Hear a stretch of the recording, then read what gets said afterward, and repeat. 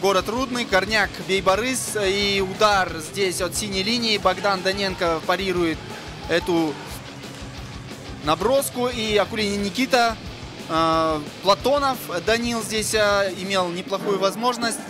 Э, отскок был. Данил Платонов поборолся. И 97 номер у нас Султан Данил открывает счет.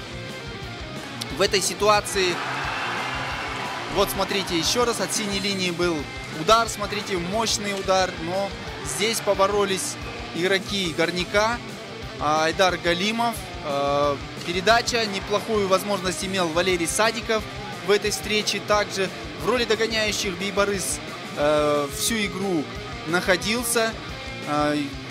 До второго периода счет был 3-1. Здесь мы смотрим атаку Горняка. Наброс был.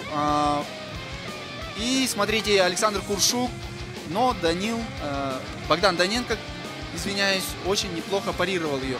Сейчас мы видим заброшенную шайбу Платонова Данила с передачей Александра Куршука и Оскара Юлбарисова.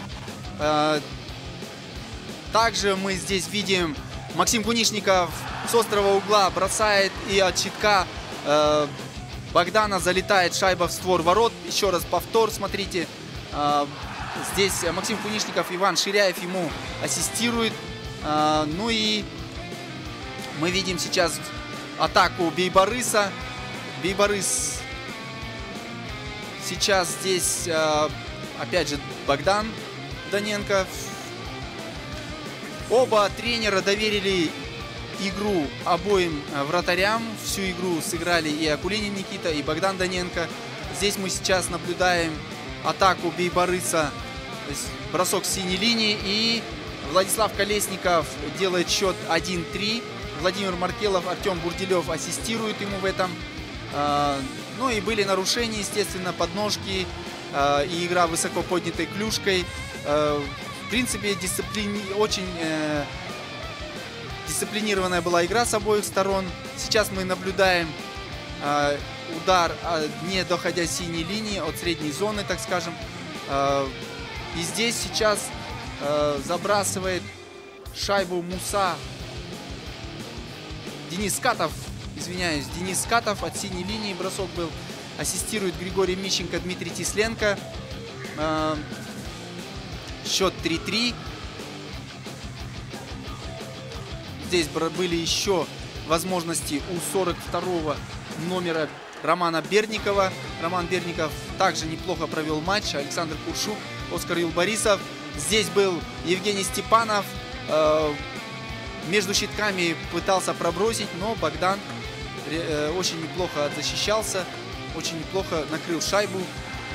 Также Здесь была контратака от Евгения Степанова в меньшинстве, так скажем. Ну и здесь третий гол.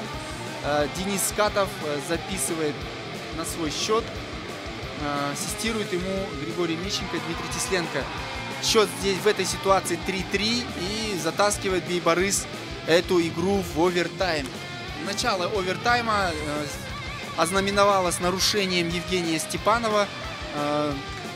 Естественно, судьи за такое нарушение высоко поднятой клюшкой наказали на 4 минуты. И здесь Александр Воробьев заканчивает сегодняшний матч вот таким неплохим броском с острого угла в верхнюю часть. И видим статистику на ваших экранах. Перебросал Горняк и на точке вбрасывания был очень отлично выглядел. Но, тем не менее, Бейбарыс доказывает, что не забрасываешь ты, забрасывают вам и вырывают победу в этой встрече.